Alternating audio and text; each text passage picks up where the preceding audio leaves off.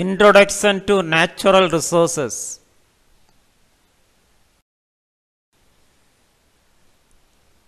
Our environment provides us with a variety of goods and services necessary for our day to day lives. These natural resources include air, water, soil, minerals, along with the climate. And solar energy, which form the non living or abiotic part of nature. The biotic or living parts of nature consist of plant and animals, including microbes. Plant and animals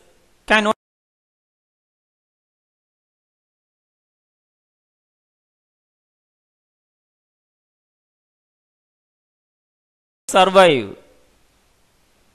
as communities of different organisms, all closely linked to each in their own habitat and requiring specific abiotic conditions.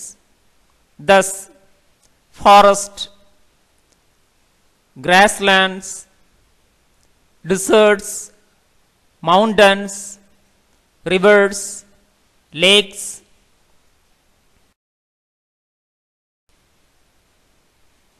and the marine environment, all from habitats for specialized communities of plants and animals to live in.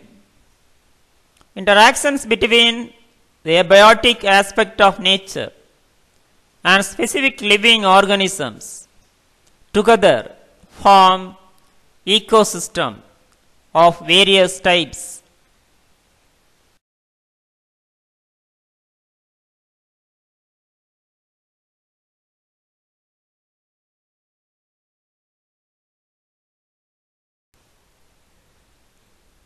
Many of these living organisms are used as our food resources.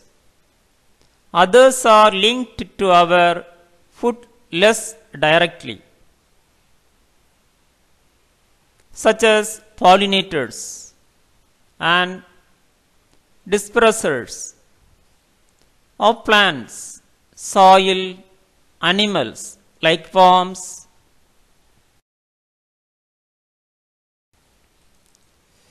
which recycle nutrient for plant growth and fungi and termites that break up dead plant material so that microorganisms can act on waste to reform soil nutrients.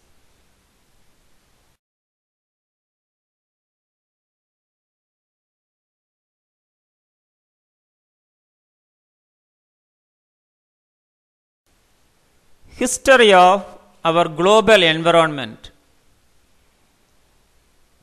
About 10,000 years ago, when mankind changed from a hunter gatherer living in wilderness areas such as forest and grasslands into an agriculturalist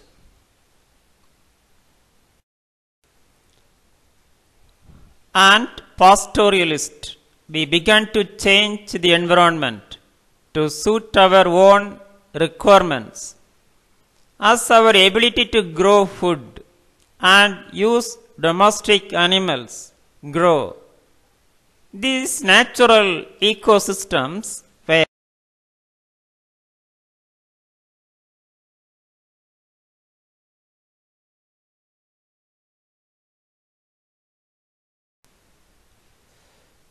developed into agricultural land, most traditional agriculturists depended extensively on rain, streams, and rivers for water.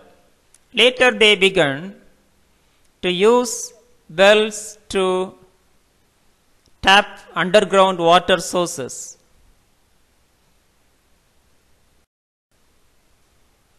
And to impound water and created irrigated land by building dams. Recently, we began to use fertilizers and pesticides to further boost the production of food from the same amount of land.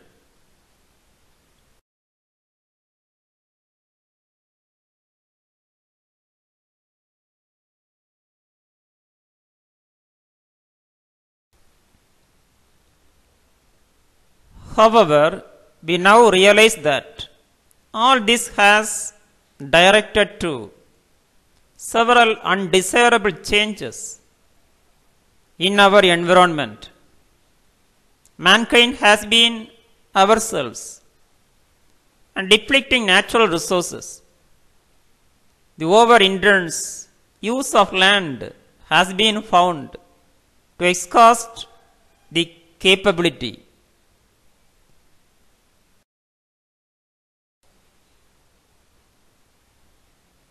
the ecosystem to support the growing demands of more and more people, all requiring more intensive use of resources, industrial growth, urbanization, population growth, and the enormous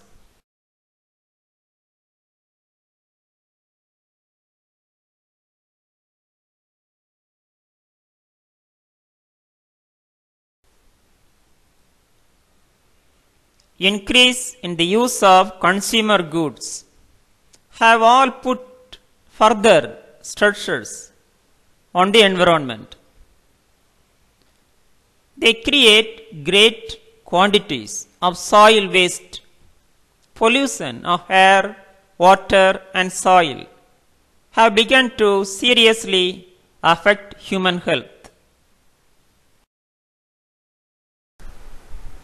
Thank you. Have a nice day.